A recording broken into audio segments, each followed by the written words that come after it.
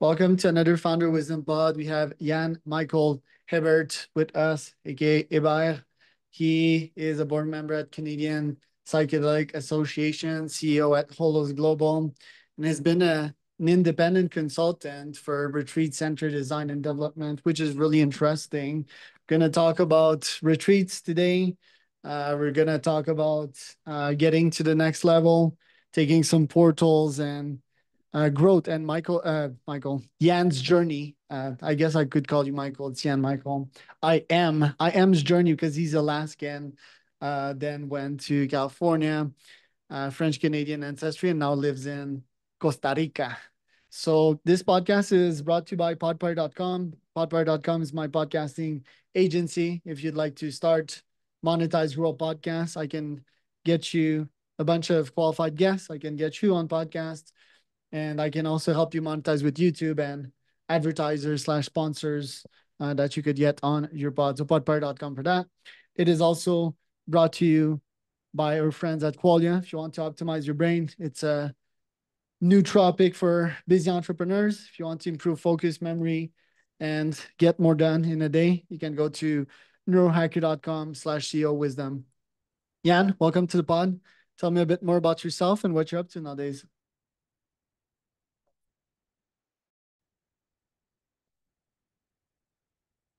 Thank you, Charles. It's great to be on. Um, a bit more about myself and what I'm up to. Well, today I was surveying all the trees that we're putting in. We're putting in 4,000 trees over the course of two months. Some of them we're reforesting. Some of it is uh, new fruit forests and just really tending this project down here in Costa Rica. It's a 200 acre development that's a mixed use between conservation, community development. So there's 35, 40 lots that people are building houses on. We have a farm and a community zone that'll include a school. And then we have a retreat center that um, has 25 beds and we've been operating for about two and a half years. So just a lot of managing that today and then also dreaming up what could be the next Holo site. So we are looking in British Columbia as well as Colorado and prepping for some meetings in Colorado next month. But um, my life dream has really been to be in Costa Rica or Central America and have a farm. I mentioned that I grew up in Alaska to you, and um, my ancestors, as you know, come from from uh, Quebec, and my direct lineage was apothecaries and and apple farmers. So there's ways that I'm getting back to my roots, and I feel like uh, that's something that's really powerful for people is to realize what their lineage is and honor that lineage. And so there's ways that I didn't even know, but this life path that I felt called to is very much in line with what my father's side have been doing for for centuries. And uh, when I was 17 in Alaska, I decided to become a vegetarian. And I realized that Alaska was not the most sustainable place to be a vegetarian. So it's pretty meat eating culture and hunting, and that's what I grew up with. So I set my sights for Central America and started hitchhiking when I was 18 to try to come down and, and have a farm. But I made it as far as midway through Mexico, almost to Oaxaca, where you are now, and discovered waterfalls outside of Puerto Vallarta that I had a very powerful experience behind. And so I I went and lived a lot of lifetimes, had two kids, and um, was a contractor, got a master's in psychology. And after all of these life journeys, I finally came to realize this vision of living in Central America. And um, the pandemic really amplified the need for me to be somewhere with more space and in nature. And so I was living in California at the time, but when the borders started closing, I came down to Costa Rica to scout land and and really get to know the community better. And that was a big life shift. So the pandemic, I as hard as it was for a lot of people, um, and there were moments that were challenging, it catalyzed a whole new life for me and this development that we've been that we've been building here. So that's some quick highlights of the journey. Yeah. Very cool. Now, the retreats, uh, if we start from a distance, why do people need retreats? uh, what constitute a good retreat for someone? How do you set up the right environment? How do you design that? And how do you make people's retreat memorable and most importantly impactful? That's a, a great number of questions. So um, we'll just start with why do people need retreats? Not everybody needs a retreat, but if you think about like your phone or your computer, occasionally they need a reset and you have to put a new operating system in and it takes a little time for that to download and to to be activated. And so I find that retreats allow people to take a break from their regular routines and thought patterns and the habituated things that we all do and to have a new perspective and part of the mission of our retreats is that they're educational. So people learn about other ways of living, but they're also transformational. So we work with plant medicine. We have a license down here to work with psilocybin in San Pedro. Um, we also sometimes have ayahuasca retreats. And uh, we're providing this space for practitioners all around the world to come and offer their gifts. So we have a lot of different modalities and practices that people bring here um, dance, breath work, yoga. And all of these modalities are what we call holotropic modalities. And holotropic is a word that was coined by Stan Grof, who's one of the founding advisors to Holos and also the inspiration for the project. And holotropic means moving towards wholeness. So you know, we find that in a seven day container of a retreat that people can really set a new foundation for their lives and come away with some really powerful insights and new ways of being. So, um, yeah, we provide a space that is optimized for people to feel both connected to nature, but also really comfortable and inspired by nature. So when I look for a retreat center site, um, like my work at Esalen, I look for a place where the four elements are really powerful. So, you know, the, the element of earth and the mountains and the element of air, places where there's some open space, the element of water. So here we have six major waterfalls and this really epic river called the Diamante. And from the retreat center, you can see the Diamante waterfall, which is a 600 foot waterfall. It's the biggest waterfall in Costa Rica. And uh, yeah, so and then the fifth element of the fire, the sun, or we have a fire pit or the kitchen. So when you have those elements, it gives people the different um, textures of life that they can tap into. So if somebody's life is like very lethargic and very like earth and water, maybe they need more fire in their system and they need to be inspired by by that element. Or if you know if people are needing more inspiration they can turn to the air and the space and the vision and the view. So i look for a place that has those elements because it provides a real grounding for the work. And um, yeah we also build structures. The human environment is really important. So we build structures that are really inspiring we have these bamboo structures with big arches and a temple and a dining hall that are just exquisitely built kind of inspired by some of the architecture that's happening in Bali or Tulum. And yeah, so those are some pieces that we put together that I would say our specialty is is crafting the right space and then a space that has a narrative that's tied into the landscape. And that landscape includes all the different layers of history of human habitation. So we do a lot to honor, honor the ancestors in the land, the indigenous people that were here before, and um, so we've had a lot of tribal gatherings here where indigenous people can come learn things and share their offerings and also connecting the tribal elders from around Costa Rica. So there's a lot of things that we do to create an environment with that's very rich in meaning and purpose and gives people an opportunity to tap into that and then find purpose and meaning in their own lives. Love that. What's special to you about waterfalls? I understand the water element. Water is really important for me, the ocean, uh, the sand, yeah. and to ground myself and also to be more fluid, like Bruce Lee would say. Uh, but waterfalls, mm-hmm. um, what what is so mystical about uh, these waterfalls? And also tell me about the wooden architecture. Uh, it seems yeah. to always fascinate me when I go on these ayahuasca trip just to watch the ceiling and and oh. yeah, what, what is it about these patterns? So two questions. Yeah, you you would be so blown away by the structures here. You actually, you saying that, you just have to make a trip down at some point. But uh, we built these big bamboo structures, and um, I was a carpenter in Alaska, but we built with a lot of square corners. And so here I've really gotten to experiment with how do you build with circles and arches, and there's a way that you can heat bamboo, and then it creates uh, opportunity to bend it, and then it holds that that shape. So we built these massive bamboo structures, kind of inspired by the design of a honeycomb. So they're all six six-sided shapes with these big arches.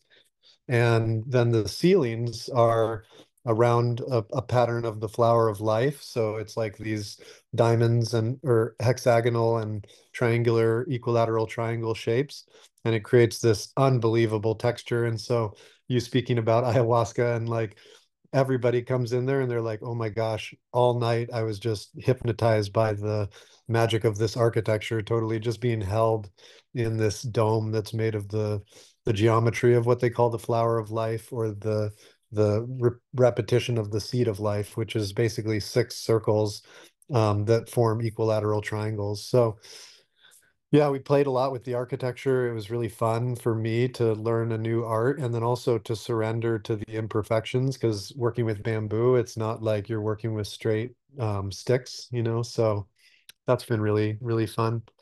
And um, the waterfall question, when I was 18, this re restaurant owner in Puerto Vallarta encouraged me to go to this little town, Yelapa, and go up into the waterfalls. So I went on this journey up into the waterfalls and I found this waterfall where I could perfectly fit my body behind it and it created this little chamber and it was like being in a spacecraft and the the water um, was looking right out at the sun and and the sun created these like hypnotic patterns through the water and I started singing I started like toning creating these like primal tones and some of the tones would reflect off the water in a particular way that it would reflect into the chamber and like build what they call a constructive vibration. So the chamber started to like vibrate to the extent that my body totally dissolved and I just became like a primal sun of of consciousness and I could feel that consciousness and the way that the whole universe is an expression of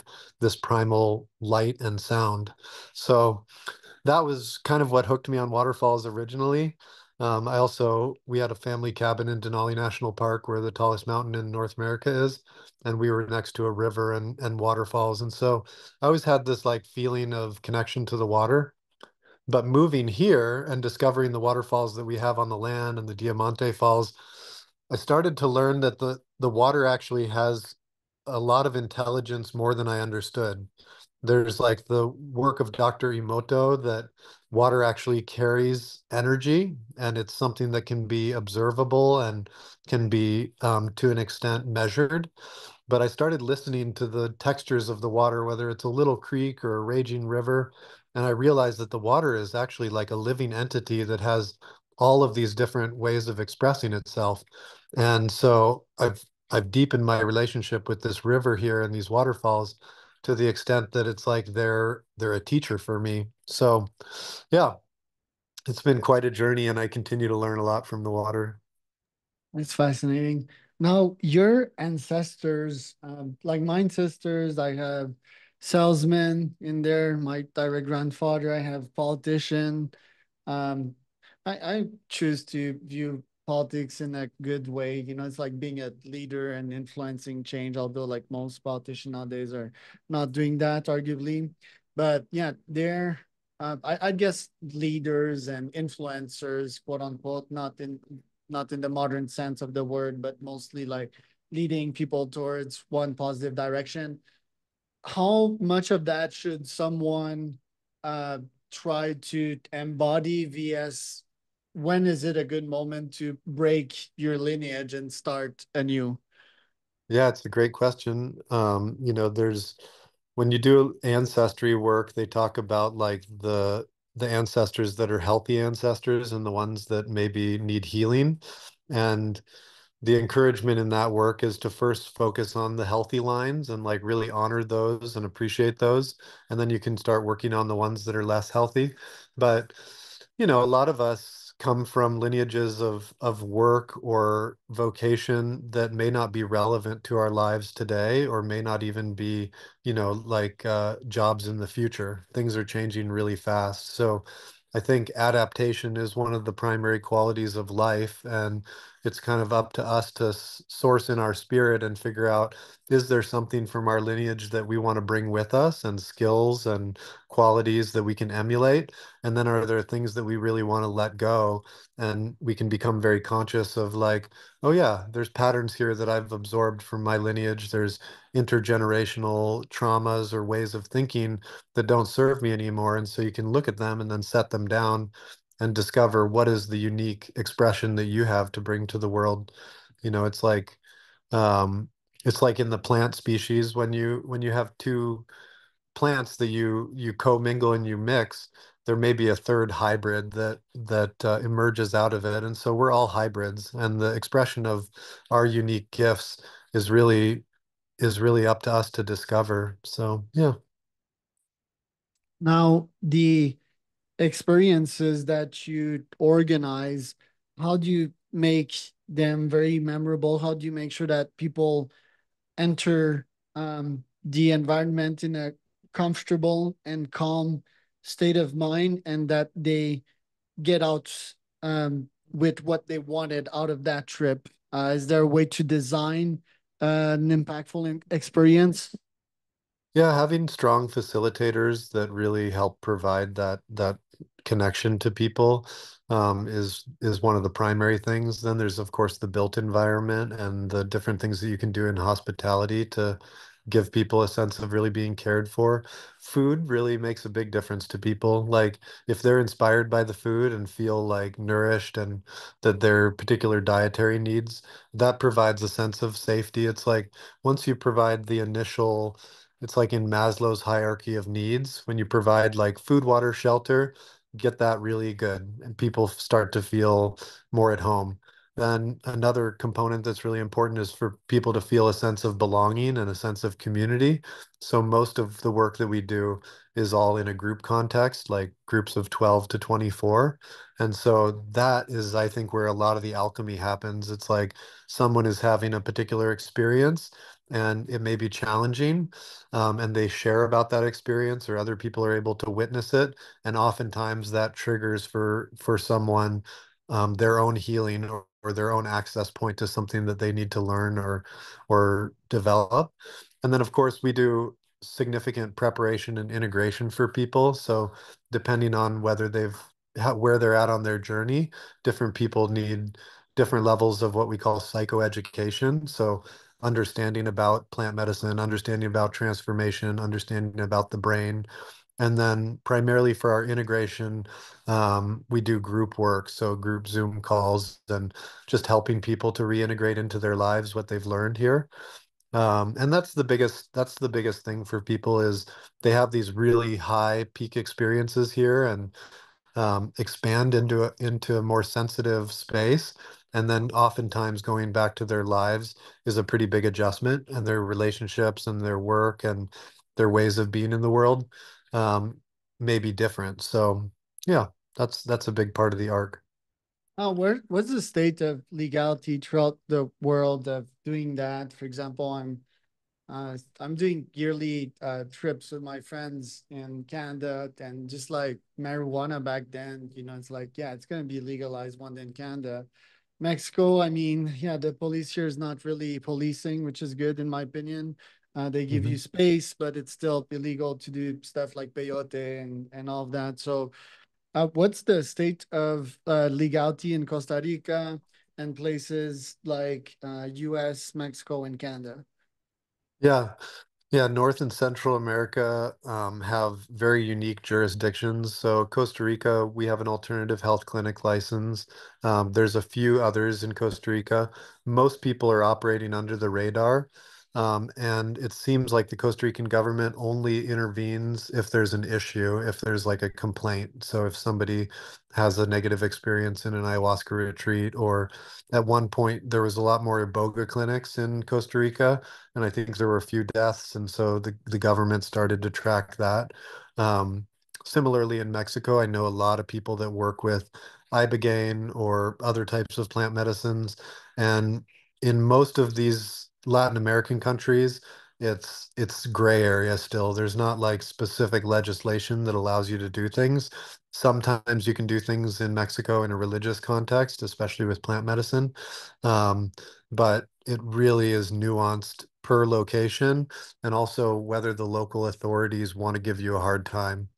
Um, in the US and Canada, it's mostly things that are working under the church model that are actually getting legal approval. So, like Santo Daime in the US or Canada.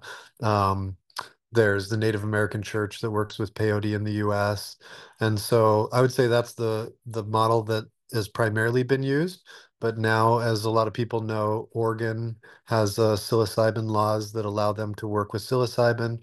Um, Colorado's working on a natural medicine act, which will allow the use of different um, natural medicines and psychedelics. And it's similar to to cannabis, where the individual states are starting to craft their own laws, or individual cities are decriminalizing medicine and not putting any kind of um, police force attention on it. But at a federal level, there's still a lot of these medicines are illegal. So you can get in trouble with the federal government, just like you could with cannabis. And those things are slowly changing. So it's like slow, it's like a very slow moving wave. And I feel like some people jump on the wave and they're like, oh, this is going to go so fast. And a lot of companies like bank on, oh, yeah, this is going to be a big industry immediately. And I I think to the contrary that it's those that are like riding the longboard that are on the big wave that are like, okay, we're going to ride this for a long time and just be steady and patient.